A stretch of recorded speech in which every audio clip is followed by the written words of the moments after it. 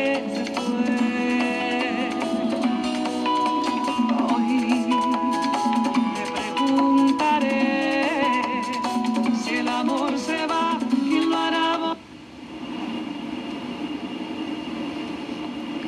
Mili Quesada con un anticipo para toda nuestra audiencia de Lloraré por él, que es un sencillo que forma parte de su álbum número 30, que ya se está cocinando.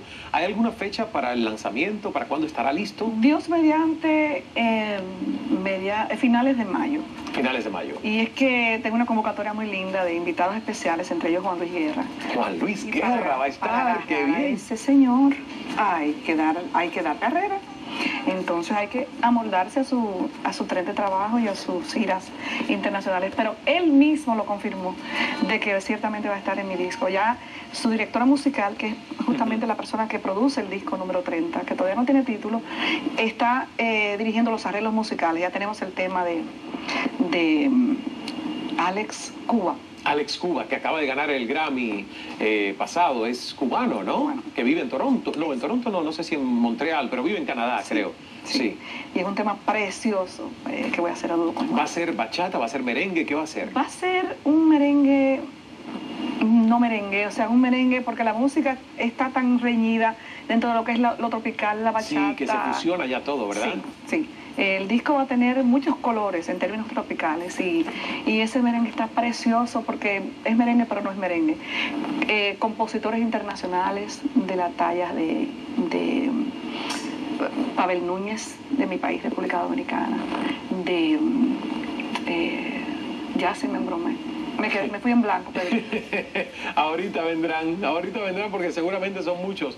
¿Cuán- Son muchos. ¿Cuántos, eh, ¿Cuántas canciones, cuántos tracks más o menos en el Eh, disco? con estos dos que están ya prehechos van a ser 12 temas. 12 temas. y, y, y unos dúos divinos. O sea, dúos, divinos. además de Juan Luis Guerra, ¿quién más? Divinos, no te lo puedo decir. No puedes, no puedes decirlo. No te lo puedo decir porque, entonces, ¿qué le dejo yo a la rueda de prensa de, de- de mi lanzamiento? Ah, es cierto, hay que, guardar, hay que guardar algunas cositas para la rueda de prensa. Y este tema, Lloraré por él, eh, yo decía que, bueno, que el, el- me encanta la versión bachata, Sí. pero tienes también la versión merengue. La versión merengue. Eh, y justamente haces el video y es una novia que han- la han dejado plantada. Sí, sí, sí, sí. Pero sí. tú no te quieres ver así, tú quieres vestirte de blanco, pero no Dios que te deje. me libre.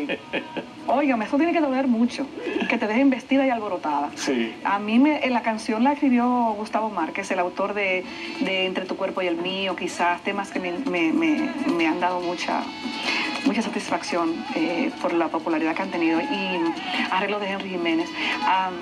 En, la, en, el- en esta, en esta oportunidad tú ves al final, en- entre los mambos están mis hijos, Anthony y Miguel, eh, que, que le dieron ese toque urbano, ese toque moderno. Yo creo que parte de lo que es esta producción es ese compromiso, ¿no? No solamente con ser eh, artista establecido en, tan, en tres décadas, eh, tratar de estar al día. Y gracias a Dios que me dieron unos hijos que ahora adolescentes son, o un poquito más allá de adolescentes, me estoy tratando de quitar la edad. Este, pero me mantienen joven, ¿no? Me mantienen vigente. Y así va a ser este disco, porque, porque así tiene que ser, porque hace tres años que no grabo. Este disco que tú tienes a la mano acá es, es Solo Faltas Tú. Que fue el, el- el último, El ¿no? Antes, reciente. el más reciente. El más reciente. ¿Esto fue qué- año? Eh, hace tres años Hace que lo, tres que lo años, grabé. 2007 más o menos. Correcto. Sí. Y porque a, a partir de este disco, que fue muy bien logrado, eh, que tiene cosas muy lindas, este, la gente está esperando y, y saben ya de que son tres décadas, entonces el reto es bastante grande.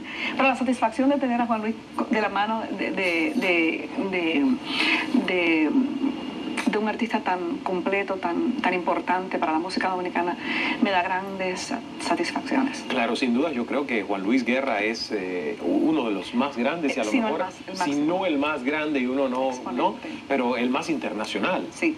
Es que ha sabido ponerle tanta poesía a su música. Sí. Yo estaba escuchando el otro día bachata en Fukuoka Ok.